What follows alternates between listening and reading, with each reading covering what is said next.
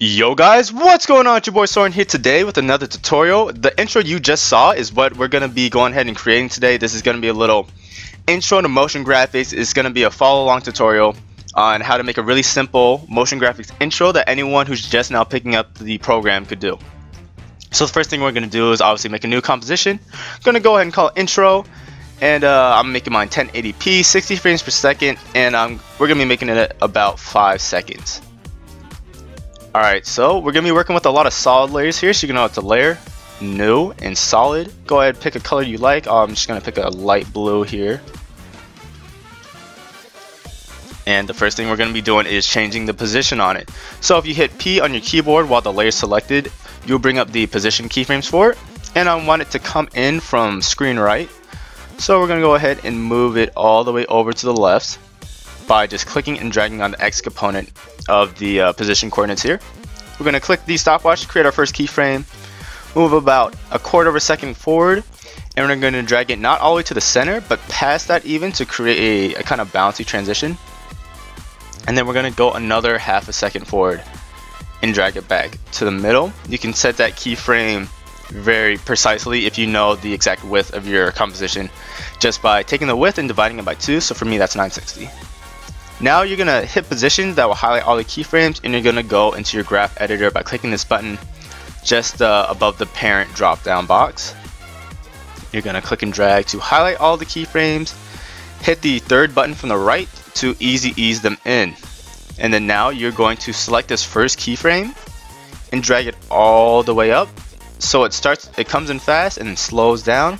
And then you're going to select the last keyframe and drag that up a little bit. So that way it comes in fast goes past the center point slows down and then snaps back. So it'll look like that. If you're getting a problem where it looks like it's it's going to the point you set it at and then it goes a little bit farther unwanted what you're gonna do is highlight all of your keyframes right click, go to keyframe interpolation, go to spatial interpolation and select linear and that should fix your problem. Perfect.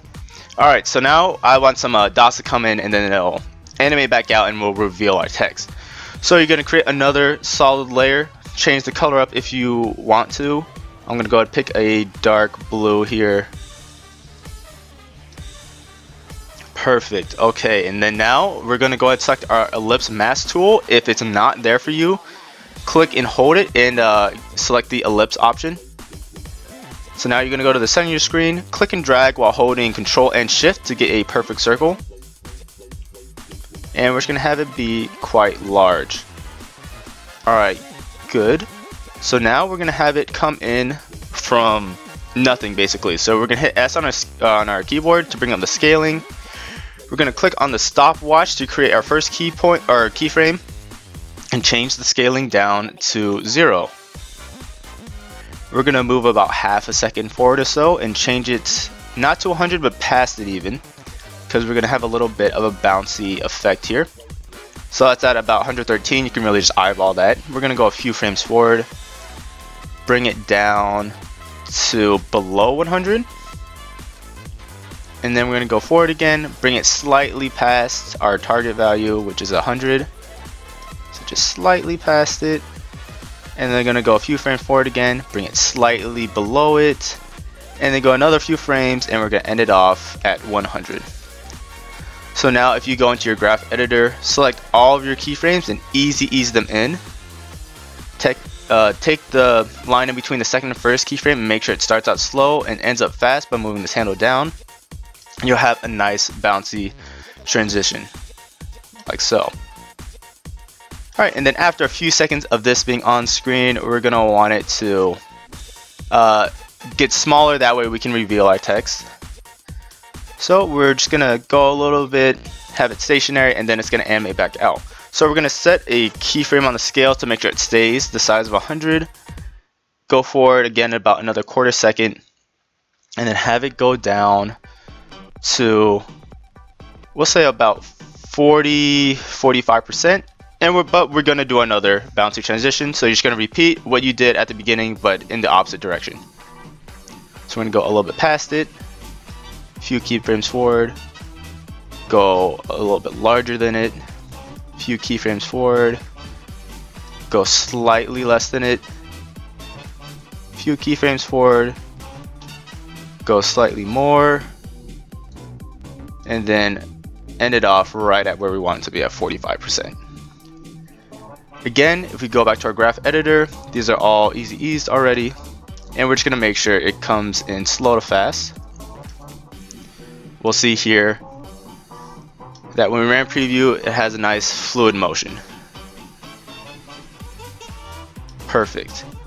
Alright, so now I want more than one dot popping up in the same place, but so we don't have to keep remaking these keyframes, we're just gonna highlight this layer, hit Control D on our keyboard to duplicate it, go up to Layer, Solid Settings, and then just change the color and all the keyframes will be the same. So just gonna get a little bit like a medium blue here, good old crayon box blue. And to make sure that it's not completely overtaking our bottom layer, I'm to go back to scale, select all our keyframes and go to the graph editor. And then now if I select all these scales except for the first one, I can click and drag them down. That way it ends up being smaller. So now it's going to pop up like that and then go back like that. And then I want to do this process one more time just so I can have three colors on here. And we're gonna go ahead and go with a white color. And gonna do the same process with the scaling to change it up so that way there's a bit of offset in size. Perfect.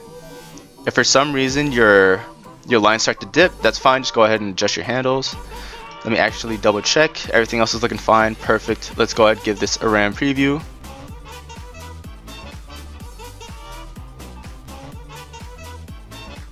Awesome. Alright, so we're looking good. And then now the last thing is, it's in the center, but we want our text to center, so we're to move this off to, we're to go ahead and do the left for this. So you're going to select all of these layers by clicking on the top one, holding down shift, and clicking on the bottom of the circles. And you're going to hit position, or you're going to hit P on your keyboard, bring up the position again. You're going to keyframe those by hitting the stopwatch. And we're just going to have it go over, we're going to move about half a second over and we're just gonna have them move over to the left so we're gonna grab the X component move it to the left perfect now we're going to hit the graph editor select all of our keyframes. Easy ease them. Go to the middle. Select one keyframe bring it to the center. Select the other keyframe bring it to the center. So it starts off fast and slow. And it just moves over nice and gently.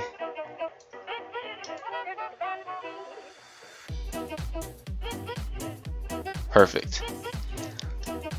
So while this is here, we're going to bring on our text now.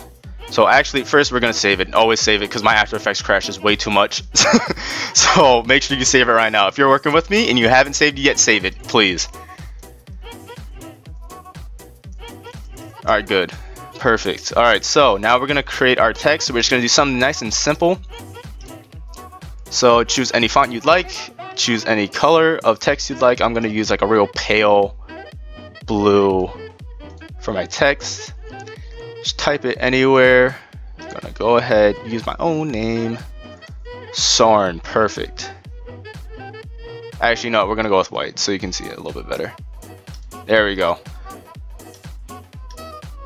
Alright, so when this is all the way over, your text should be about centered and just to the side of it.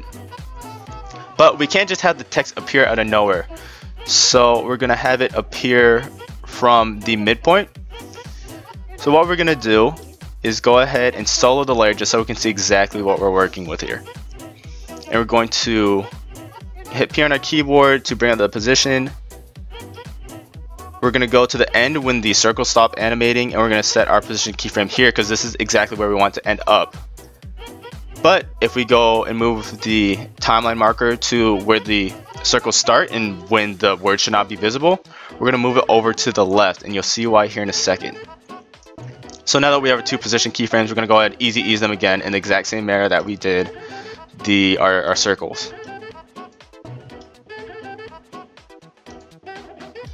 Perfect. So now this slides over. Alright, so the next step we're to have to do is create a new layer and make sure it's white. It doesn't matter what the color scheme is of your intro because this layer is actually not to be seen. Okay, so that's white already.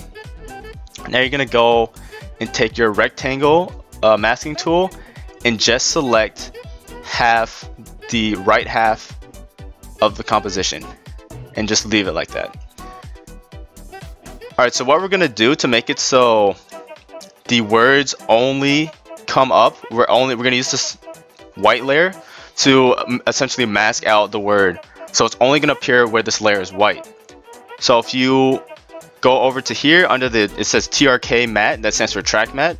You're to go ahead and hit Luma matte on Soarin and make sure, or on your, your name, and make sure that the white layer is directly above it. If you don't have this TRK, the track matting here, hit toggle switches in mode and it'll bring up that drop down. So now if we unsolo this layer, I need to move this over a little bit actually. Perfect. You can see that it appears, actually if we leave it solo, you can see it, it'll appear from that line and not on the other side. So if we unsolo it, we can see it's appearing from the half line, but we still got some of it cut off because it's uh, it's not completely centered. So to fix that, we're just gonna go to the mask of our uh, masking layer. And we're gonna keyframe it. So if you hit M on your keyboard it'll bring up the mask path. You're gonna hit the stopwatch again go to the point where everything stops moving and we're gonna change up where the mask is. So if you go to your universal tool double click on the mask it'll bring up this and you're just gonna slide it over to the side like so. And then we're also gonna go ahead and easy ease these keyframes just like we would normally.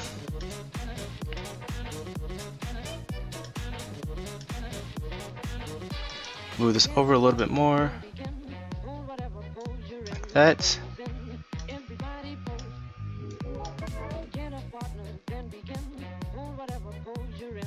And now it looks like the name is coming from the center and you can still see it coming in front a little bit you can see where the edges are so our last fix is if you take the tracking layer and your your name and move it underneath the circles it'll cover that up a little bit so now it looks like your name is coming out of the dots. Alright, and then if you want, you can go ahead and add a drop shadow to your name just by right clicking on the layer with your name on it, going to layer styles and adding a drop shadow. Let that load in here. There are a lot of options on the drop shadow. I'm going to go ahead and let you guys tinker that on your own. You know, the distance, the, the spread, the size of the drop shadow, things like that. So other than that, we're gonna go and finish off this intro. Save it, and then now what you're gonna do is you're gonna take this intro composition that should be on your uh, imported files panel and bring it down into this little movie clip looking button that'll create a new composition in it. And right where we're going to want it to end, we're going to go to the position keyframes by hitting P on our keyboard again. We're going to keyframe it up ever so slightly to get another little bouncy animation and then go forward and have it come down all the way off screen. Highlight all of these again go to the keyframe interpolation set it back to linear just because it's easier to work with. Easy ease everything in. You guys know how to do this by now. And we're just going to set this up a little bit different like so. There we go. Now it should have a little jump up and then come back down. Perfect and now just to give this a little bit more flair we're going to add a sort of a trail behind it so you're going to add some new a new solid layer make it uh, whatever color you want whatever color you've been working with. I'm going to make it this dark blue here. And then you're going to click on the position of the composition below it and just hit Control C to copy them. And you're going to click right on the new solid you made, hit Control V and paste everything on there. So now if I put this underneath and I just slide it over in time a little bit, you'll see the animations are happening after it. So it's kind of coming down in a, as a little a tail or trailing line. I would just offset this by maybe a frame or two if I were you. And then you can do this a couple times and change up the color on them. So I'll make another one, a different, another light blue. Hold on. I'll just make it the colors of the dots. And then we'll offset it again. There we go. So now it has a cool little trail behind it. Alright, so that's pretty much it for the tutorial. If you guys have any questions, make sure you leave it down as a comment below. And uh, the project file for this will actually be in the description as well if you want to go ahead and look at what I've done, you know, compared to things you've you have or if you want to just mess with it a little bit, get creative, go for it. But anyway, guys, I've been Soarin and I'm out. See ya.